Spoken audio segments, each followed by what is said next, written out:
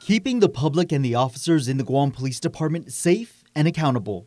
Knowing how helpful security cameras are, particularly to the women and men of GPD who put their lives on the line, and most, especially, most recently, how cameras have played an important role in the recent capturing an, of the unfortunate fatal robbery that took place in Tumon.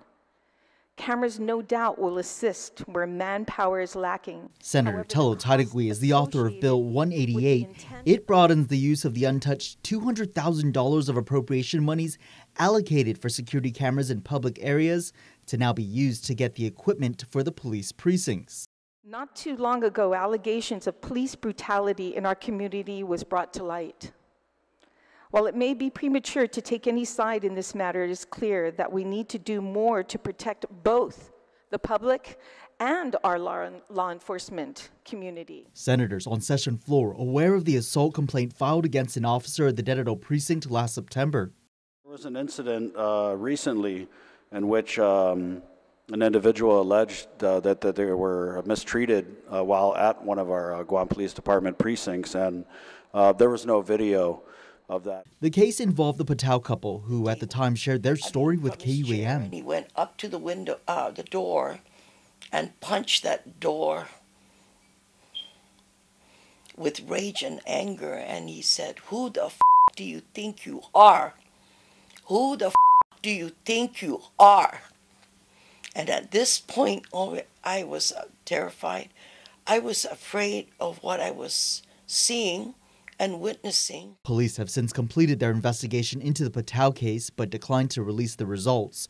The incident just one of others that led senators to push for this specific recording equipment to be installed. Senator Chris Barnett sees it as a companion measure to the recently passed bill that would equip police with body-worn cameras. Uh, video recordings, uh, video interviews conducted by detectives go a long way to ensure accountability and transparency, uh, not just um, in the way that the officers are going to treat individuals that they're dealing with, but also on, on the flip side of that, when you have individuals who uh, make complaints or allegations that uh, sometimes uh, turn out to not be true. Speaker Therese Terlaje also noting GPD only has two recording systems.